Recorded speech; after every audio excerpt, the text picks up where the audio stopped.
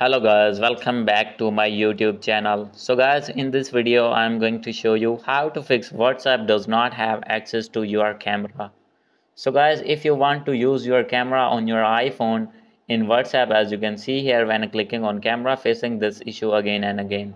So guys how can you fix this problems? Easily you can fix this problem so let's start without wasting any time. So guys simply first of all you need to go back and guys after going to back you need to open your settings in your iphone. And guys after this you need to scroll it down. And guys below you will find whatsapp. As you can see here i have find here whatsapp. So guys simply you need to open your whatsapp here.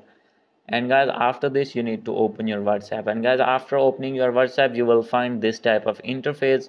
So guys simply here you can see here the option of camera. It is turned off. So guys simply you need to turn on it and guys after turning on your problem will be fixed. As you can see here when I am going to back and guys I am going to open my camera again. As you can see here now you can see camera has been opened successfully on my iPhone.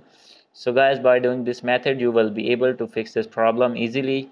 Hope you like this video. If you like this video please do subscribe comment and share. Thank you